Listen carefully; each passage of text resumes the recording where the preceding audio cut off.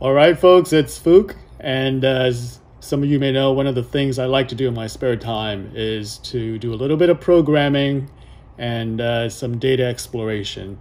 So, what I'm going to show you today is a free resource where you can run your Jupyter Python notebooks uh, for free. Now, you can, of course, run this uh, on your own machine using Jupyter notebooks, but uh, I'm going to show you the free resource. So, right now, I'm logged into my Google Drive and uh, I am in the Colab notebook section uh, where all of my online notebooks are kept.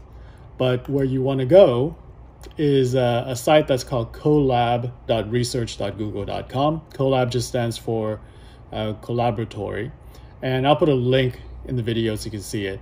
But uh, I have a couple of notebooks that I've created, and I'm just going to run them and show you how quickly uh, you can do this. All right. So one of the things that I like to do is just to explore the FRED dataset. FRED is the uh, Federal Reserve Economic Dataset. They have some 760,000 time series for a bunch of stuff. And uh, you can play around with it if you like. Um, but it's it's just really, really cool if you want to play around with it. Okay. So one of the things that I did with uh, Google Colab was that I built a notebook that looks at the US stock market market cap to GDP. This is something that's also known as the Buffett indicator. Uh, let me go ahead and kind of show you how it works, and I'm going to walk through uh, how I did it.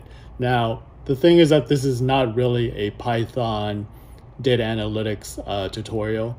I'm going to be making use of some pretty common libraries. Uh, but if you know a little bit about Python and some of these libraries, you can certainly get this running uh, by yourself. I'm going to provide the code to the video in my GitHub, and you can go ahead and download it. But let me go ahead and just show you uh, how it works. So there's a setup portion where we load our libraries. Um, and then we actually, the next step is to pull data from the Fred, the, from Fred. Uh, this includes things like the Wilshire 5000 full cap price index, GDP data, and, uh, and then do the math.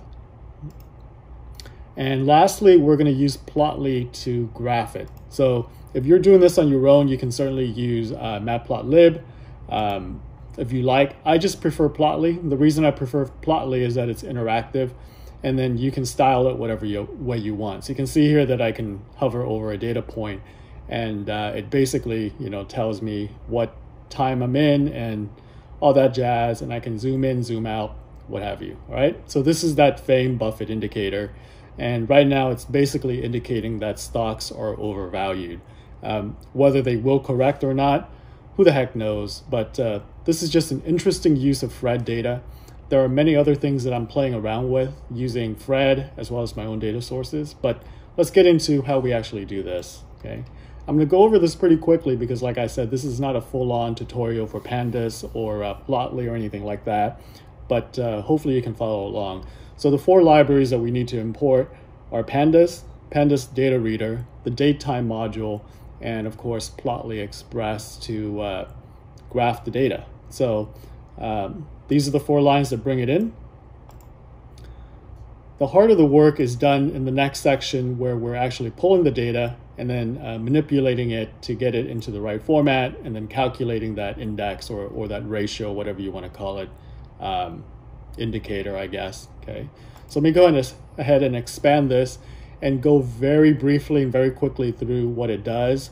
And hopefully you can follow along on your own copy of this notebook once you've downloaded it.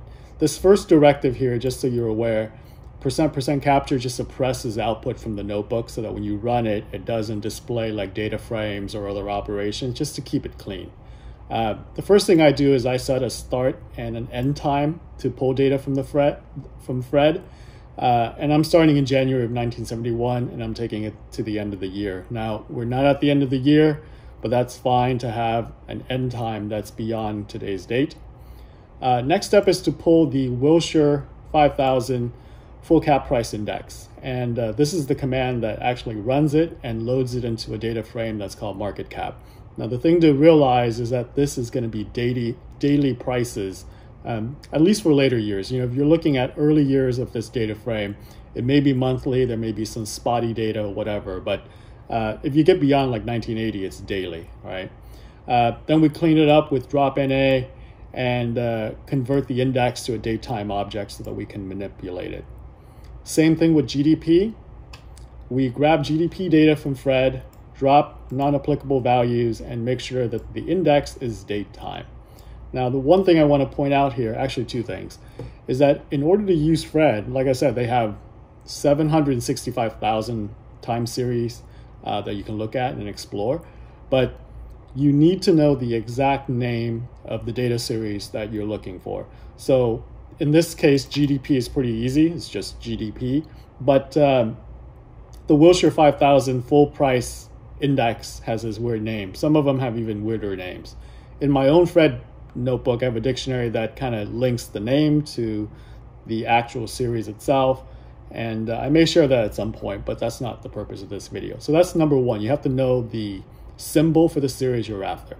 The second thing to be aware of is that GDP data comes in a quarterly format uh, on January, April, July, and October.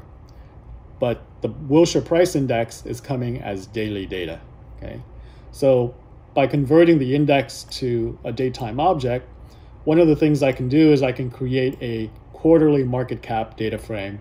And then the way I get it to quarterly is I just use my market cap data frame and then I resample it to a three month period. And this last command here basically just says take the last value in that period uh, and put it into my new data frame. You can use other uh, aggregation formulas. So you can do mean, you can do uh, average, min, max, whatever. The next step is to go ahead and just merge the two data frames, so quarterly market cap and GDP data. And uh, again, set the index to the date column. Lastly, we add um, we add this little command here because the Wilshire 5000 market cap is based in 1980 USD. So if you read Wilshire's notes, they say that you should multiply the index value by 1.19 billion to get uh, today's dollar. So that's what this is doing. And then lastly, we calculate the actual indicator itself uh, by dividing that quarterly market cap price by GDP and storing it in a new column that I'm calling Buffett indicator. You can call it whatever you, whatever you want. So let's go ahead and close this. And then lastly, this command here uh, sets up the Plotly Express chart. I'm calling it indicator chart and I'm using an area chart, but you can use line or whatever. And then I gave it a title and uh, style it a little bit, but you can style it whatever way you want. And there you go. So if I want to zoom in into you know more current times rather than going back to 1980 on the indicator, I can either use the magnifying glass as part of the Plotly Express chart and zoom in, and then I can get out by just double double clicking, right? So I'm more curious in like the last, you know, whatever, eight years, I can look at that too and see what's going on. Um, the other option is just to go into where you're pulling data and changing the start and end time. All right, that's it. Hopefully it was short enough. And uh, if you have any questions, just leave a comment down below and I will try to help you out. Thanks a lot. See ya. Bye.